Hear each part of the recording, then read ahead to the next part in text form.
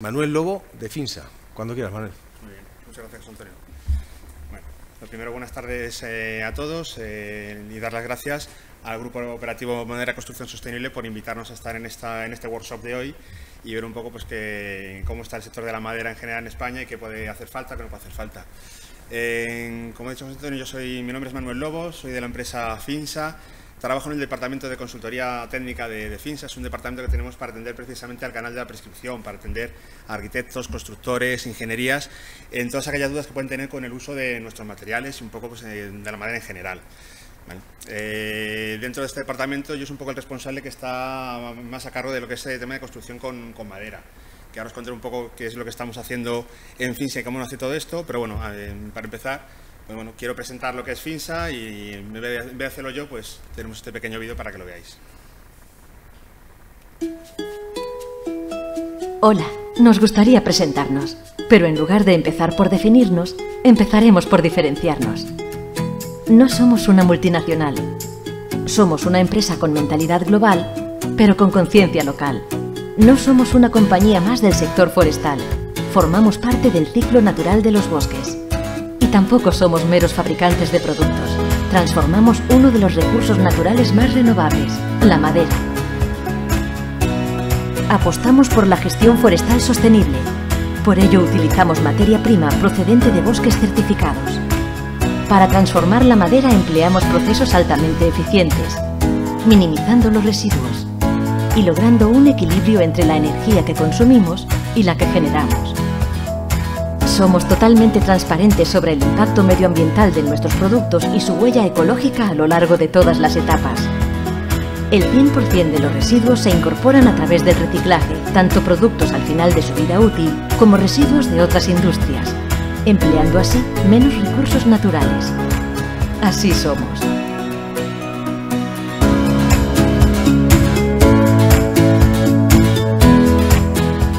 Siempre en equilibrio avanzando con un claro objetivo, ofrecer la solución más adecuada para cada necesidad. Y así hemos sido desde el principio. En 1931 comenzamos como un pequeño aserradero produciendo tabla de madera. En los años 70 incorporamos al tablero el valor añadido del diseño, personalizándolo con melamina. En los 90 surgen nuevos mercados y necesidades. Apostamos por facilitar nuevas soluciones como el tablero rechapado, el suelo laminado y el mueble kit que aportan más valor al cliente. No nos conformamos. En nuestros laboratorios de I+D innovamos con soluciones como el Superpan, un tablero exclusivo de Finsa, el Light con propiedades de ligereza únicas o el Compactmail Plus, el compacto de madera. No nos detenemos aquí. Seguimos creando nuevas soluciones para hoy y para el mañana. Y esta manera de hacer es la que nos ha convertido en una empresa global, eficiente, comprometida con la seguridad y el empleo estable, sólida. Nuestro compromiso con los clientes no termina en la fabricación de productos de calidad. Gestionamos su entrega en tiempo y perfectas condiciones gracias a una gran red logística Contamos con 12 fábricas cercanas a los puertos de carga, 6 almacenes logísticos, 18 delegaciones comerciales propias que nos permiten servir a más de 80 países en todo el mundo. De nuestras fábricas salen 95.000 camiones, más de 7.000 contenedores y 90 barcos fletados cada año. Sí, son muchos, pero todos ellos llevan lo mismo, una caja de Finsa. Y dentro hay mucho más de lo que se ve hay soluciones concretas, pensadas para cada necesidad, para el canal de distribución, el canal de prescripción y grandes superficies. Porque cuando decimos que FINSA se mueve por ti, se mueven más de 80 años de productos y servicios pioneros. Y no tenemos intención de detenernos. FINSA. Nos movemos por ti.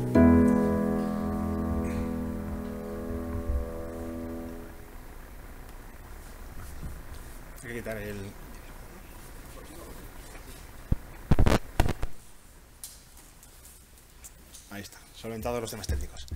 Bueno, pues eh, ya he visto un poco lo que somos en FINSA y, bueno, de la parte que vengo a hablar es de la parte quizá más nueva o también un poco más, más innovadora dentro de, la empresa.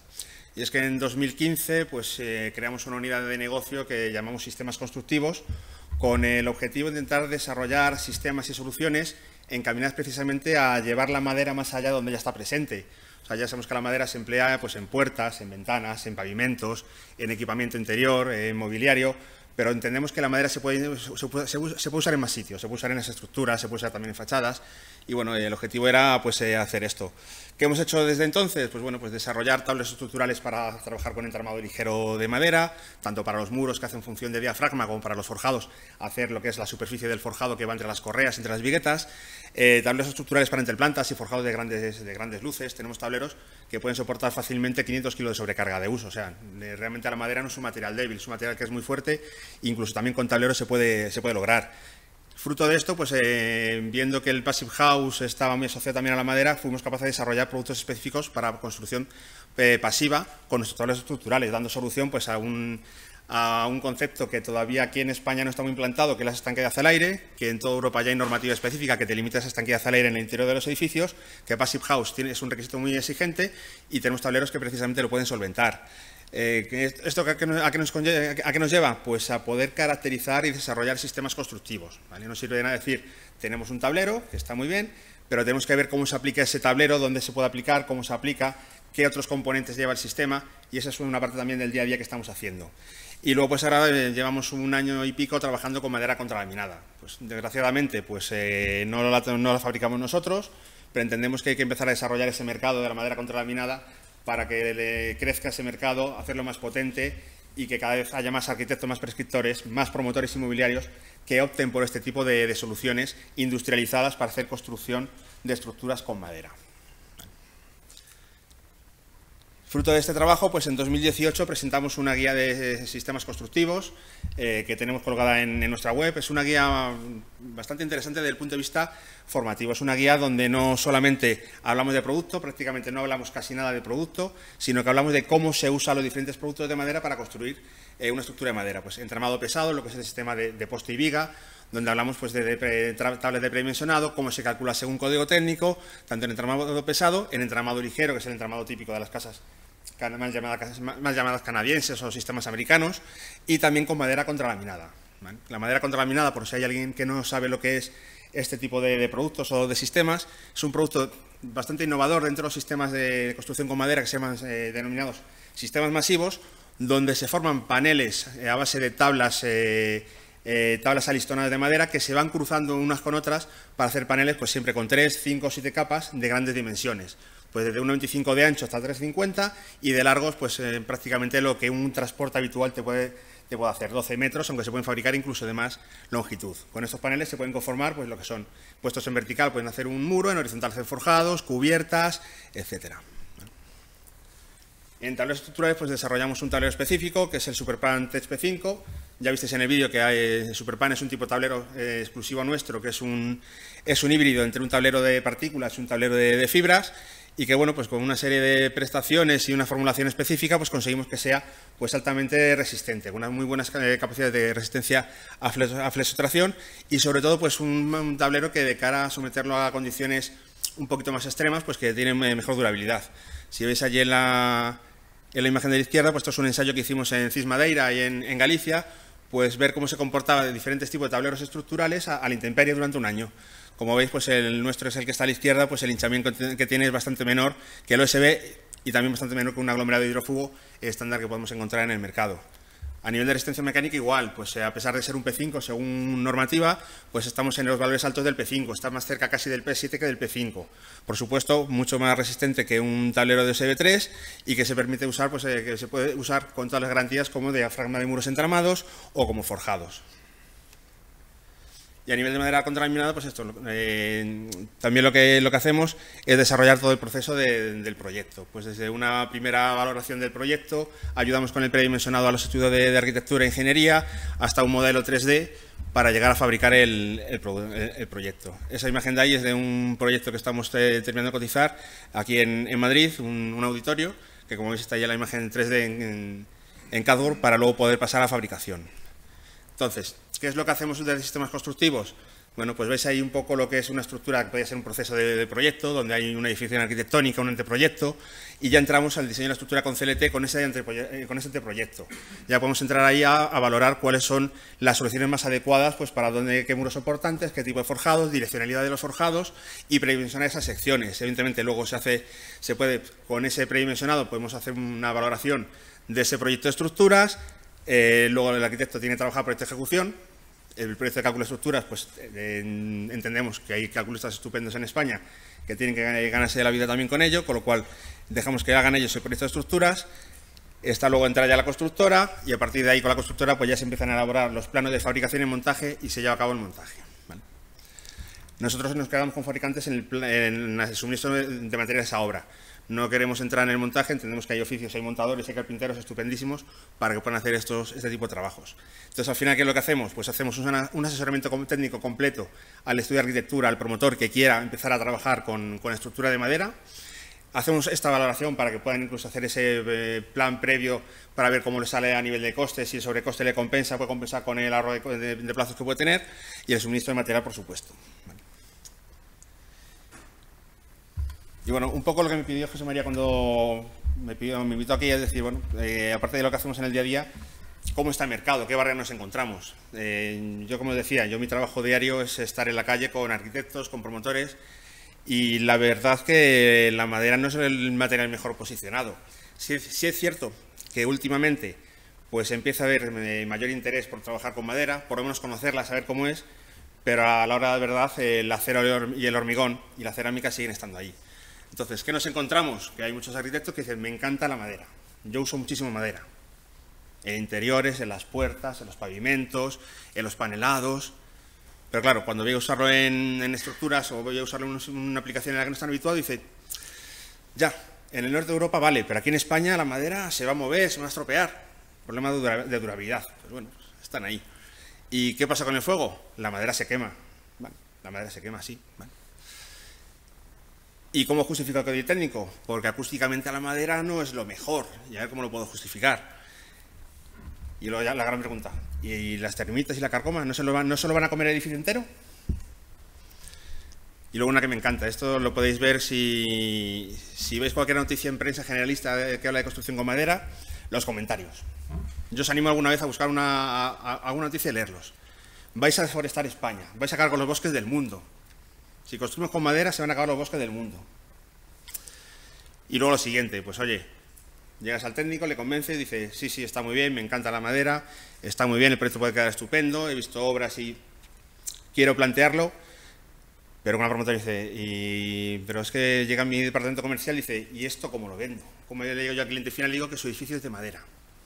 Y es un arquitecto que hace unifamiliar y dice, ya, pero es que mi cliente la madera no termina de verlo. Son las grandes cosas que nos encontramos ahí en el, mundo de la madera cuando estamos a pie de calle, cuando salimos a la calle a ver cómo se hace un edificio de madera. Pero lo que decían, no sé por qué hay todo esto, y yo me imagino que es un tema muy de carácter cultural, muy de formación, porque ya usamos la madera. ¿Veis esta sala? Este, este edificio es prefabricado de hormigón, pero cuando nos podemos hacer la, decoración interior, vemos madera por todos sitios, las butacas, la celosía de fuera. Ya usamos madera, pero tenemos que usarla, creemos que debemos usarla más. Y lo decía, ¿y qué barreras que hay para que ese arquitecto tengamos y podamos salvarlas? Pues la primera que hemos visto es formación. Eh, los que seáis técnicos, no sé cuántos estáis a la escuela, los que sean más jóvenes a lo mejor no recuerdan más, cuántos estudian esa estructura de madera en cualquier escuela técnica de España. Ya no digo caminos, arquitectura, arquitectura técnica, en cualquiera. Muy poco o casi nada. Alguna asignatura en rehabilitación, hablan de sistemas constructivos más de rehabilitación. Yo me acuerdo cuando estudié aparejadores hace años, me hablan del sistema de entramado pesado madrileño, de fechas de madera. Pero claro, si dices, bueno, y el entramado ligero de madera que se lleva usando 100 años prácticamente en todo el mundo, nada de nada. No sabemos nada, los arquitectos no saben nada de cómo se construye con madera, cómo se diseña con madera y mucho menos cómo se calcula con madera. Luego, pues, eh, otro polo es el sector de la madera. Eh, cuando hablamos del sector de la madera, somos tantos, tan diferentes, con objetivos tan diferentes, que cuesta mucho llegar con una única voz y hacer algo en, conjunto. Y luego, pues, eh, la gran pregunta, ¿tenemos un sector forestal y de primera transformación preparado? Esta mañana en el workshop que teníamos lo comentábamos. Si hoy todos los edificios de España se hicieran con madera, no teníamos madera suficiente para construirlo. tenemos que también avanzar ahí en que el sector forestal y primera transformación se prepare. Y luego tenemos eh, la falta de grandes industriales en, España. Pues realmente no tenemos grandes industriales como puede haber en el resto de Europa para fabricar contralaminado, para fabricar viga laminada, por el motivo que sea, porque no hay materia prima, porque no hay demanda, pero tenemos esa carencia. Si de repente mañana, por una normativa, alguien en el Ministerio de Fomento se le cruza los cables y dijera a partir de mañana todos los edificios con madera, no había industria que la soportase. Y es un problema. Ya no solo acompañar esa demanda creciente, pero no hay, no hay oferta, hay que crearla. Y luego pues eh, pongo ahí también la familia de la madera. Eh, hay muchas ponencias como esta que van en la madera y siempre ven las mismas caras. Parece que somos los mismos, parece que hacemos muchas cosas, pero ve siempre a la misma gente. Tenemos que romper esa endogamia, tenemos que intentar ser más comunicativos, salir más al exterior y que más arquitectos que no conocen la madera la conozcan. Es muy difícil lograrlo, pero es un problema que al final hagamos eventos, nos invitemos a nosotros mismos, vayamos a todos los aros los mismos, nos saludemos los mismos y al final, ¿y cuántos han ido gente nueva que no conozca la madera y se haya interesado? Muy poquitos. Tenemos que romper esas, esas dinámicas también. Y luego, pues eh, yo creo que lo principal que hemos perdido es la, la pérdida de cultura, pues lo que decía, la deforestación. Si usamos madera, pues vamos a deforestar. Todo lo contrario, aquí está PFC o podemos hablar con gente de PFC, todo lo contrario, tenemos que apostar por potenciar esa gestión forestal sostenible, por exigir que esa gestión forestal sostenible sea adecuada y que todos los productos de madera estén certificados para garantizar y que, sobre todo, que el consumidor tenga la garantía que lo que está poniendo en madera no se ha cortado un bosque ilegal, no viene de un sitio por ahí raro, sino que se está cuidando el bosque que se está haciendo por, por mantenerlo. El siguiente, el cuento de los cerditos. ¿Quién no lo conoce? Llega el lobo a la casa de madera de arriba si veis, veis un poco en la historia del cuento de cerditos, son sus orígenes, era un cuento pues, que tiene una moraleja de, acerca del, valor del esfuerzo del, trabajo. Si buceáis un poco en los primeros orígenes del cuento, no era una casa de madera, era una casa hecha con, con ramas que se encontró por ahí. esto, claro, evidentemente no tiene estabilidad ni durabilidad. Pero esa imagen del cuento de los cerditos, que luego el corto de Disney, toda la tradición de libros para cuentos infantiles ha llegado que al final pues la casa que vale de ladrillo. Y yo me pregunto, ¿y esa cubierta de la casa de ladrillo con qué se ha hecho la, cubierta? Porque yo no conozco ningún ladrillo que aguante flexión. Seguramente algo de madera lleve esa casa. Poco, mucho algo tiene que llevar. Pues si, si es una casa del siglo, de un cuento del siglo XVII, XVIII, en ladrillo, algo de madera tiene que llevar. Pues algo estaba por ahí. Y luego, pues en la propia imagen, cuando le preguntas a cualquier persona por eh, una casa de madera, se encuentra esto, una cabaña. Tenemos que romperlo también, tenemos que pensar la madera de forma más amplia, que una construcción con madera no es una cabaña de troncos, que no es un chamizo que te venden en el Leroy Merlin para los fines de semana o para los, para los aperos del jardín, sino que se puede hacer arquitectura de verdad con, madera. Entonces, luego, la normativa tampoco ayuda, lo decía antes, pues eh, resulta que acústicamente pues es muy difícil justificar soluciones con madera, no tenemos soluciones robustas que, permitan aplicar el método simplificado de código técnico, pues ahí tenemos que poner las pilas y trabajar para, para tenerlas. Pues también, volvemos a la formación, llevamos con normativas de acero de hormigón, estaba esta mañana mirando cuando la primera, creo que la primera eh, de hormigón es de los años 30, del acero, la SMV creo hay alguna de los años 60. En madera, normativa de madera, la primera que yo creo que se hizo fue la del código técnico en el 2006. Estaba el Eurocódigo, pero no teníamos normativa propia. Si no tienes una norma básica antiguas que había, la SEA, la SEH y demás, no se estudian en las universidades, no se estudian en ningún sitio, nadie se preocupa por ellas, pues de, aquellos eh, polvos, estos, lodos. Y luego pues, el catálogo de, soluciones constructivas pues tampoco está muy presente. De hecho, cuando tienes que buscar, tienes que bucear por ahí y decir sándwich de madera. Cualquiera que quiera con madera, la terminología no ayuda. Cuando le pones sándwich de madera, ¿eso qué será? Todo el mundo cuando ve un sándwich piensa en termochip, pero no piensa en un entramado ligero de madera. Pues hay alguna solución, pues como está de aquí, con algunos datos técnicos, pero evidentemente, es, el catálogo es de ya hace ocho años, está desactualizado, hay que actualizarlo y ahí tenemos que trabajar todos en conjunto para, actualizarlo. Entonces, en definitiva, tenemos mucho por hacer, tenemos que seguir dando pasos, tenemos otro reto por delante que ya eh, otros materiales están poniendo las pilas, que es el tema de la industrialización. Están entrando los grandes grupos de hormigón a industrializar, a hacer paneles eh, industrializados y si queremos coger el carro de la construcción con la madera, o nos ponemos las pilas con todo esto y avanzamos en tema de industrialización, no solo paneles de CLT, sino en cómo avanzamos en industrializar 3D y 2D más completo, o no tendremos mucho más. O, este tipo de grupo de trabajo y charla no tendrá mucho más sentido. Y esto es lo que quería contaros. Y hasta aquí.